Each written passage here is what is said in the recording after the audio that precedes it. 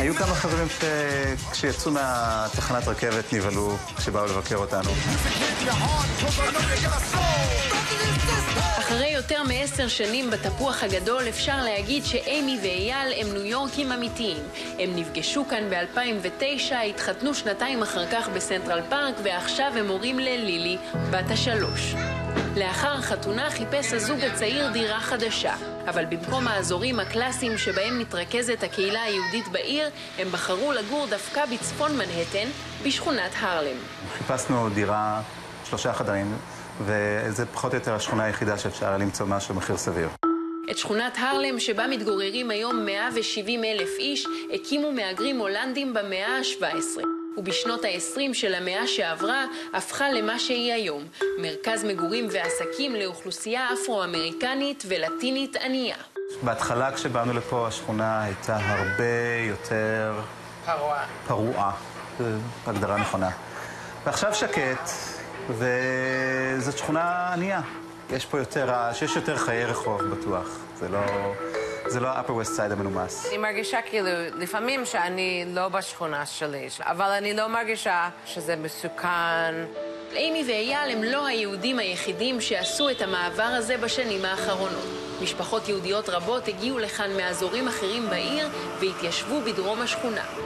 ההגירה החדשה משמעותית כל כך שלפני שנה אפילו פתחו כאן מרכז קהילתי, JCC, מעין סמל של שכונה יהודית פורחת. Do you like the JCC? What do you do What do at you the do there? JCC? We go to the JCC all the time. אנחנו הולכים לשם הרבה זמן, זה חמש דקות מפה, ויש, כל, כל שבת אני מקבלת אימייל מה יש שם. זה, זה לא דת, אבל זה כאילו יהדות לייט כזה. רק כמה רחובות מביתם של אימי ואייל נמצא בית חב"ד המקומי. הרב יוסל גנסבורג ירש אותו מאביו שנפטר לפני כמה שנים, ומאז מנהל אותו עם אשתו מושקה. כך בעבורו למקום הזה יש משמעות מיוחדת. There's so many things that happen over here. You know, you feel like it's impossible, and then things just happen one way or another, and you know, you feel His presence uh, all the time. המרכז הזה, שמשמש גם בית כנסת, קיים כבר 12 שנים. בעבודתו היומיומית, הרב גנסבורג רואה את השינויים בקהילה.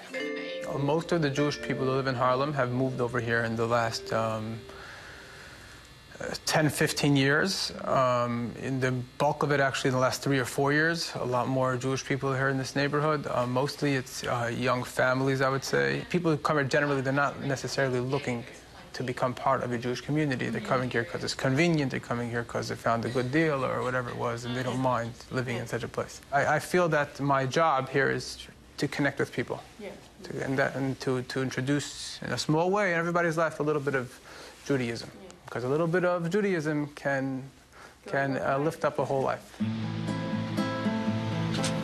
גם אם נדמה שנוכחותם של יהודים בארלם היא תופעה חדשה, בעצם מדובר בחזרה של הקהילה לשכונה הזו. להרלם, מתברר, יש היסטוריה יהודית. Let's be careful crossing the street. Come, come. כשפרופסור ג'פרי גורוק גילה להפתעתו שגם משפחתו חיה כאן בעבר, הוא החליט לחקור לעומק את השורשים היהודים של הרלם. ואפילו כתב על כך ספר, היהודים של הרלם. Jews began arriving in Harlem around 1870. They are Central European Jews, you might call them German Jews, and they move out of the Lower East Side, which was now then known as Klein Deutschland, Little Germany. Over here is Baptist Church. You can see it's broken down, but if you look all the way up to the top, you can see a Magen David. Can you see the Magen David on the top of this column? All the way up, you see the Magen David.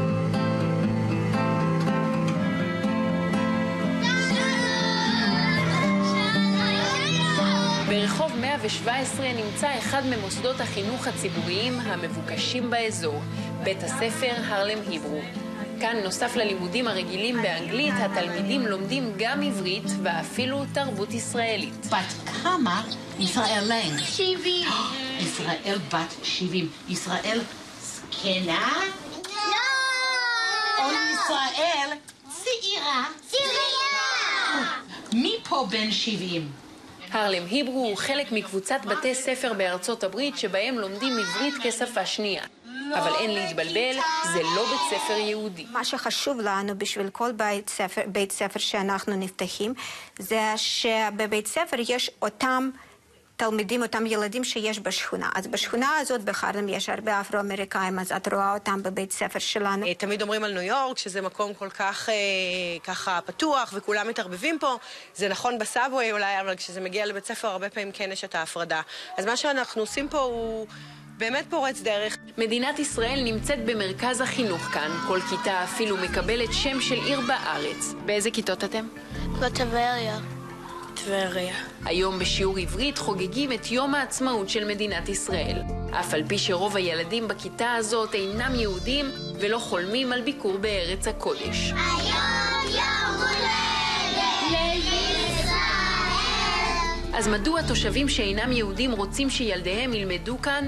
תשובה מורכבת. סתם רוצים להביא ילדים שלהם לבית ספר טוב ולתת להם חינוך טוב. יש כאלה שהכנסייה שלהם, אה, בכנסייה הם אומרים שטוב מאוד לדעת עברית. יש כאלה שדווקא רוצים עברית, וכאשר שואלים אותם למה, כי הם יודעים שישראל זה מרכז של הייטק, ואולי יש לילדים שלהם סיכוי לנסוע ללמוד באוניברסיטה או לעבוד עם ישראל. מה אתם אה, הכי אוהבים ללמוד בבית ספר? אני הכי אוהב חשבון. חזרת היהודים להרלם והמוסדות שפתחו כאן הם חלק מהתפתחות מואצת שעוברת השכונה בשנים אלו. מה שהיה פעם רחוב עני ואפור הפך היום למרכז מודרני ותוסס עם בתי קולנוע, מלונות, מסעדות אופנתיות ועוד. אחד העסקים שמאפיינים את תערובת התרבויות בהרלם היא מאפיית לילי. וואי רוגלח. I found the recipe back in 62. And when I tried it, it didn't come out good. What was missing? Well, the dough was too soft. כאן נופים רוגלח שהפכו ללהיט גם בקרב התושבים הלא יהודים של השכונה. אלווין לי סמולס, בן 74, פתח את המקום כבר בשנות ה-80, מתגאה בעבודתו. על דלת הכניסה הסיפור ברור, רוגלח by a brother. I made um, challah bread, not the braided one, the wrong. I can't braid. I make a good babka too, so I've made everything Jewish.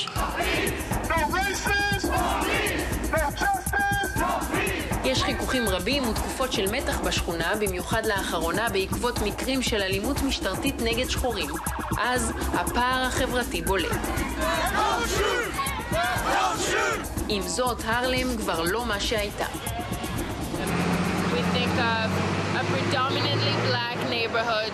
Even dangerous neighborhood that someone like me as a white person would be feeling out of place in. It's very much outdated. As of 10 years ago, there were more Caucasians than African Americans living in the neighborhood.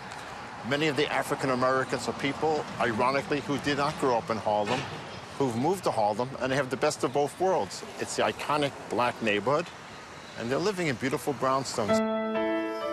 מי שעובר לגור כאן כבר יודע שלא מדובר בוויתור על הזהות היהודית, אלא רק בהזדמנות לשלב אותה עוד קצת ברוח העיר הכל כך רב-גונית הזו. No, it's Harlem. It's Harlem. It's Harlem past, present, and it, there's going to be a future.